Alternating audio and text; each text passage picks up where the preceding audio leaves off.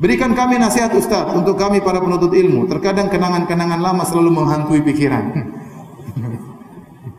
Makanya jangan terlalu banyak menghayal.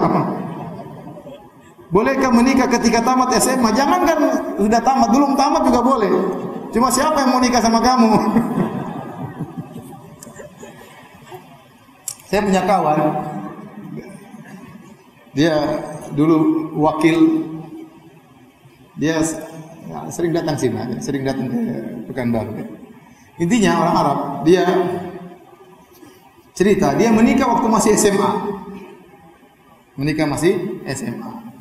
Jadi waktu dia menikah, bapaknya suruh tinggal di rumah, rumah bapaknya. Sampai dia punya anak dua atau tiga, baru dia tinggal. Di, jadi selama di rumah dididik oleh bapaknya, bagaimana menjadi suami yang baik, ibunya didik bagaimana istrinya menjadi istri yang baik. Makanya dia bilang sekarang alhamdulillah anak saya banyak. Berapa anaknya? Dia bilang kalau tidak salah 10 orang. Masya Allah, itu baru laki-lakinya katanya. Makanya kalau antum nikah sekarang masih kelas 2 SMA, nanti anak mungkin 20 nanti. Tapi kalau nikah 45 sudah hampir-hampir tewas, anak berapa nanti? Jadi sebenarnya inilah orang tua harus mengerti kondisi zaman sekarang. Zaman kita dulu ya, zaman bahala, itu fitnah tidak seperti zaman sekarang. Maka kalau ada anak kita ingin menikah wajar, dia ingin menyelamatkan dirinya, dia ingin menundukkan pandangannya, dia ingin menjaga kemaluannya. Kalau ada orang tua yang apa namanya, siapa lagi anaknya sampai stres, pingin nikah, sudah nikahkan saja. Ya. Dia nikah, insya Allah dia berhasil dalam pendidikannya, dia lebih tenang. Ya. Kita bantu didik anak tersebut. Ya. Jangan bilang, nak, kamu kuliah dulu, kerja dulu. Dia kuliah masih empat tahun lagi. Saya stres empat tahun lagi, belum jadi kerja lagi.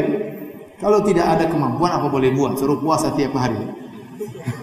Tapi maksud saya kalau ada orang tua ternyata dia punya kemampuan dan dia bisa menikahkan anaknya, nikahkan saja. Nikahkan anaknya, dia bantu ekonominya, suruh belajar dengan baik. Kalau orang tuanya mampu, kenapa tidak kasihan sama anaknya? Anaknya stres ya, kasihan. Lihat macam-macam, lihat HP isinya macam-macam ya. Lihat iklan isinya macam-macam. Semua iklan isinya cewek. Saya sering bilang iklan HP, HP-nya kecil, ceweknya gede. Semuanya iklan isinya cewek.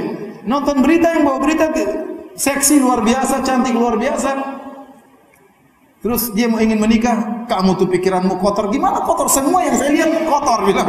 Gimana pikiran tidak kotor? Ya udah kalau kita punya uang nikahkan. Tapi kalau nggak punya, ini yang bertanya kasihan dia menderita ini sepertinya. Ya. Ya udah, saya saya sarankan dia untuk berpuasa ya. Bukan cuma Senin Kemis, puasa Daud.